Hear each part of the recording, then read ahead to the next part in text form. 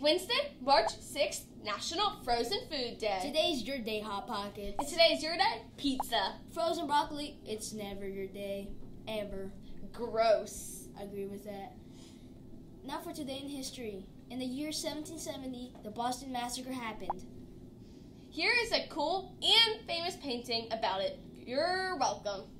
Now for today's announcements. If you like kicking, wearing shin guards, and being awesome, come out for our soccer team. Well, our soccer information is available in the front office from Coach Nixon and, or in room 233. Open field will be March 13th and March 14th, following school until 5:30 p.m. What about just like kicking? Then don't come. Okay. Battle of the Books team will be meeting every Tuesday from 4 to 4:45 p.m.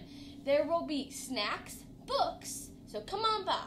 Do you want an awesome yearbook for only $16? If you do, get your yearbook forms in as soon as possible. You could have just said ASAP. But I didn't.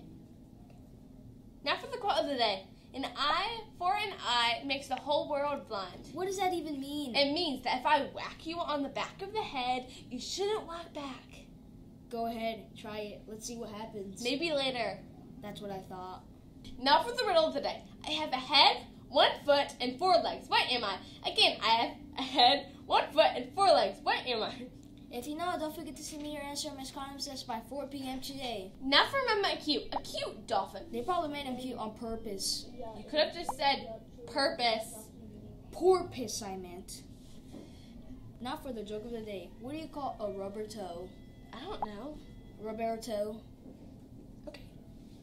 Now signing off for LTMS News. This is Elena. And Christian. Have a wacky Wednesday. Wait, wacky? Yeah, wacky. Okay, bye.